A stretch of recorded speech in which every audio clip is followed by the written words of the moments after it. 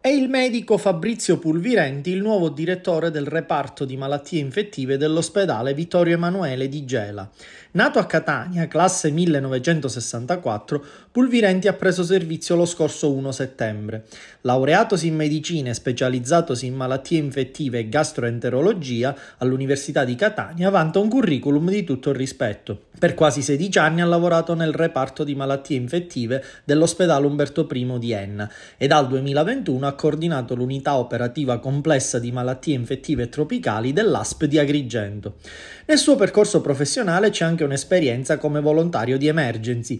Per l'organizzazione non governativa fondata da Gino Strada ha lavorato in Kurdistan e poi nell'ottobre 2014 è partito per la Sierra Leone, uno dei paesi più colpiti dall'epidemia di Ebola, malattia che ha contratto a sua volta, tanto da essere stato il primo italiano contagiato proprio dal virus Ebola.